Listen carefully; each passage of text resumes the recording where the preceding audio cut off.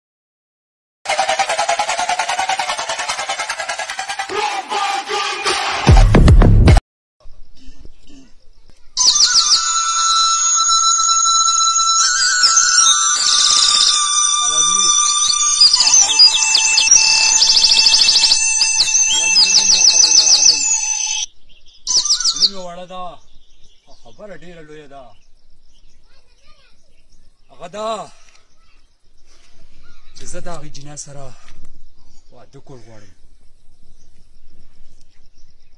یا بې وقوفه تا ته د دې زمانې پته نشته تاسو د پښتو په کارونو باندې نه پوهېږئ